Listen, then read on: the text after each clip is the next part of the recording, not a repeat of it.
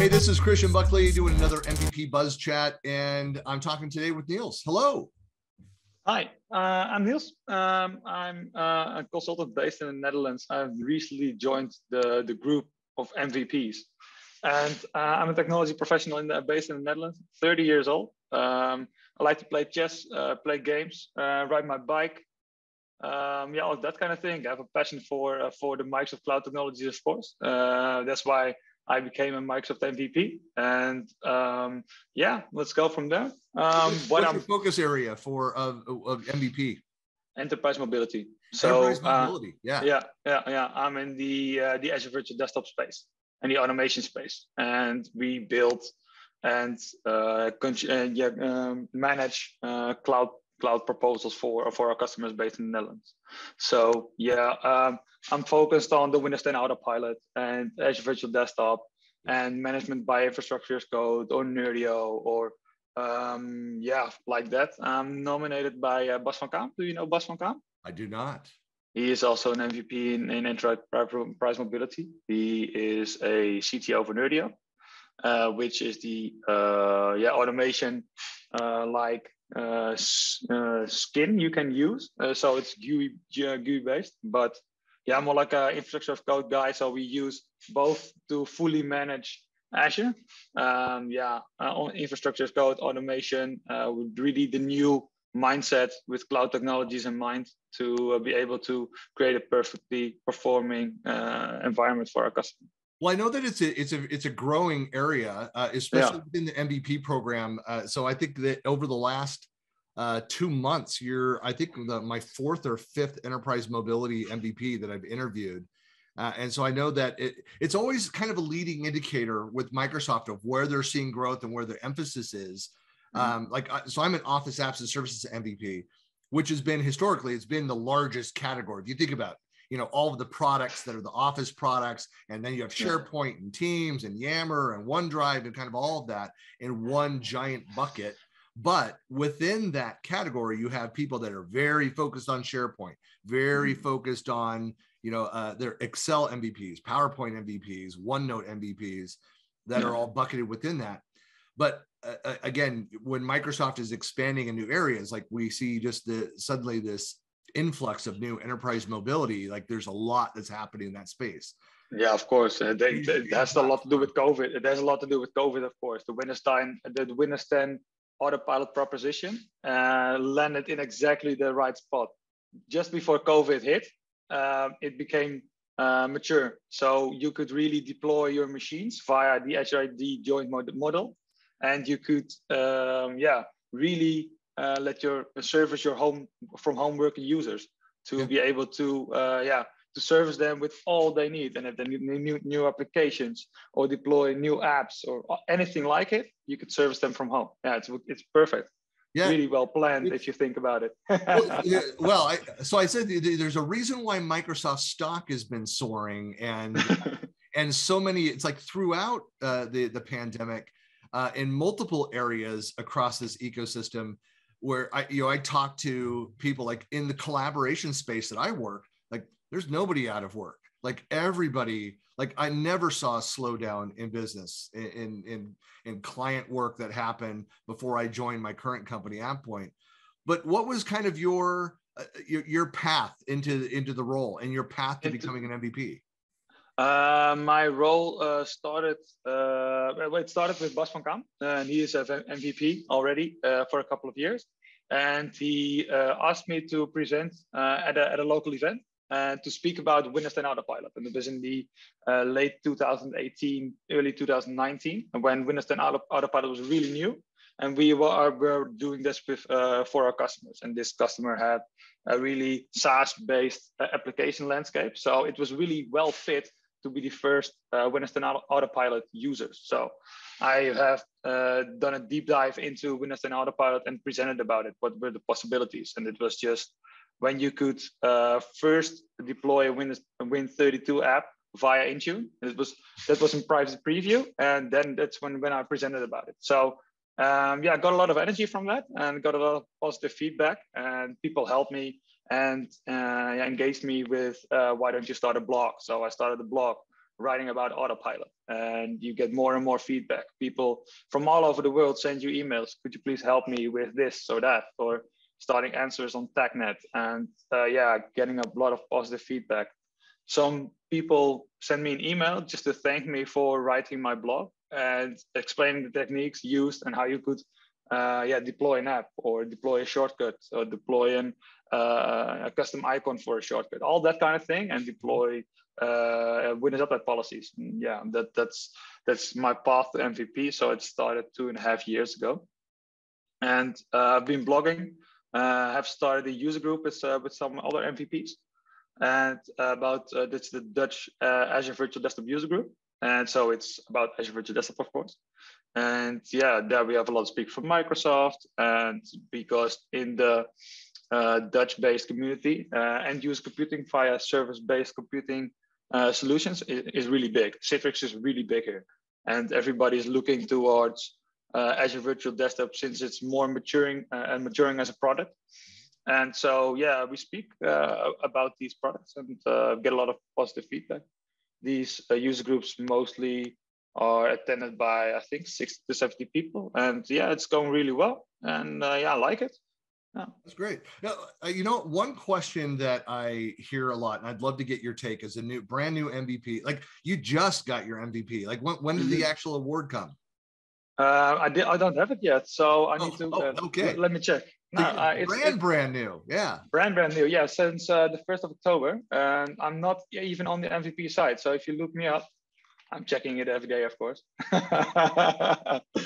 an MVP. I'm not. I'm not there yet. So uh, yeah, since the first of October, I need to get my reward kit, and uh, yeah, I've already uh, activated the, the traditional unpacking video of opening up. The I'm going to do that, yes, because it's uh, it's it's it's a little bit cringy, but it's it's yeah, it's just a really special thing. I I'm really impressed by your wall over there uh, behind yeah. you. Yeah, yeah cool. I just I had this this year. It was it's been ten years.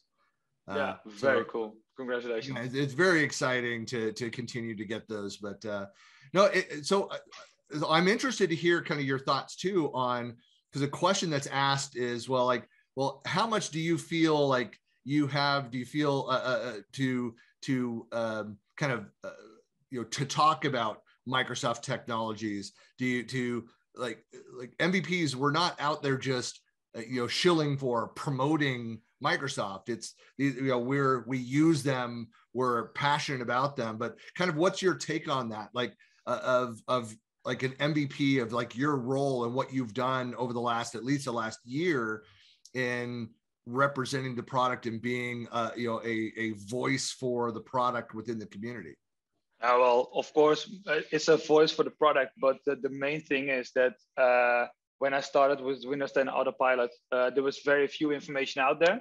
So there were a couple of guys who were blogging about it. And um, i'm starting to create my own tricks tips and tricks. And i thought yeah i'm grabbing all this information from the internet be, and I can share it myself too because I can't find some things and I'm creating things myself.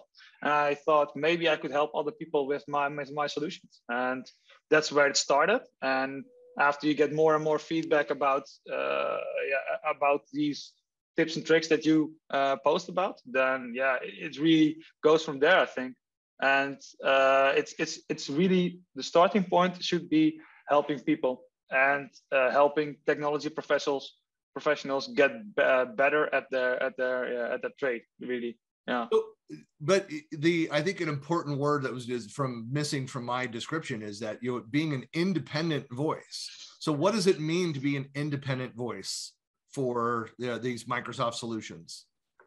Um, good question. Um, I think uh, that you could express your own feelings and your own take on how Microsoft products could be used and uh, how you could implement them and what the downsides and the upsides are from a certain solution. And, and that's where you can really advise some people whether you should go uh, for a certain product in a certain situation and when you should, uh, for example, uh, go for Windows 10 Autopilot or uh, Azure Virtual Desktop and uh, people love to hear your uh, to hear thoughts about their situation, their scenario, and how it could help them to uh, make certain choices, which will be uh, as good as they can for their users. Actually, yeah, well, it's really nice. Yeah. Yeah, because I think that's a it's a great point to make for the people that have the questions that are out there, it, and that's a difference between there's not you know uh, the product team, the product marketing teams at Microsoft are fantastic at going out there and advocating for the products that they help build. Mm-hmm you know, but you're getting that one sided view, and MVPs provide that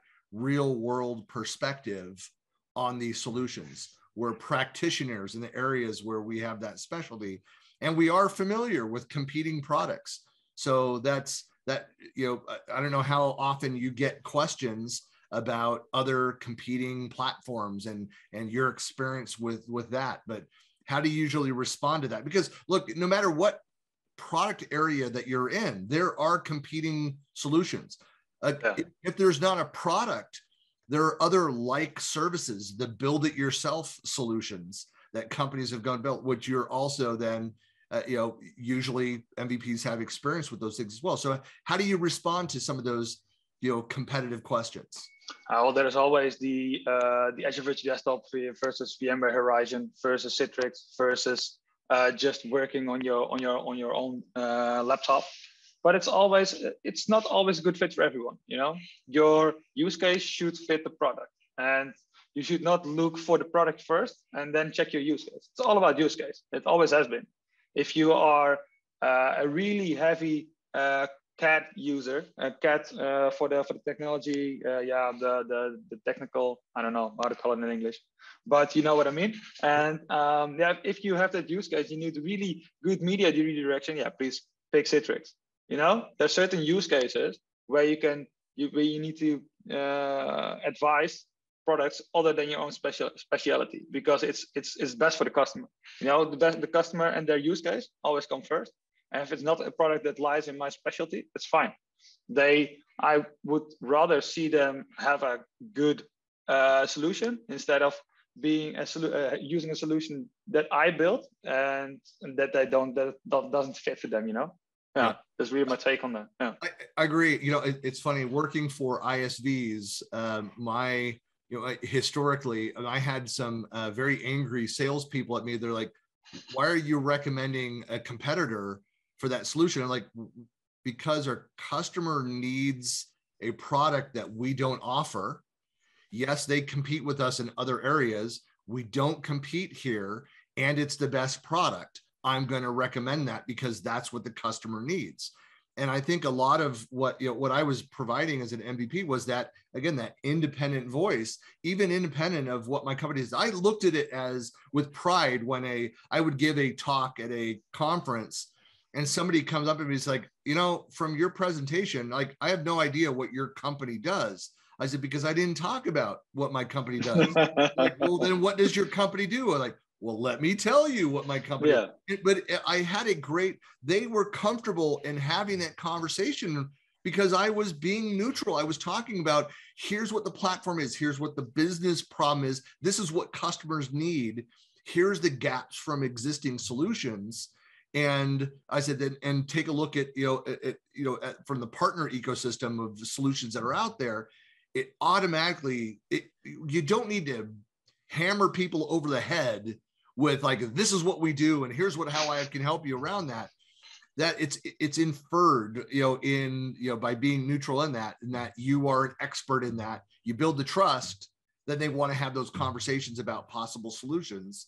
Then you can have the company you know a conversation with you where you're representing products and services yeah, exactly. It's always being a, a, the trusted advisor, and it's that that means that you don't always recommend your own product because that yeah, that that couldn't be the case if you're a trusted advisor and you only advise your own products. Then you couldn't be on the seat as trusted advisor. So yeah, that's the story actually. Yeah. Well, that's, that's always that's also and that's so true with us as MVPs, and I'm sure you'll as as you uh, you know are in the program where Microsoft doesn't want to just hear you know yes all the time to the MVPs and take what we've given you. They want that feedback. They want the pushback. Sometimes you know we need to do it in a constructive way. That's that's you know, um, and there there are some uh, you know MVPs and non MVPs, just people in the community that don't quite get that part of it that you, you can't go in hot you can't go in angry with microsoft because microsoft didn't do something that you think that they should be able to do yeah. but you have that conversation you have you get you like here's what we're experiencing here's what's happening with my customers and re- representing the community back to microsoft. So it very much is a it's a two-way thing. It's great to be a member of the program the mvp program. There are great perks benefits insights that we have. Obviously it it helps it'll help you in your career by you know being you know known as hey microsoft trusts you enough that they elevate you to this mvp because of the quality of the work that you've done.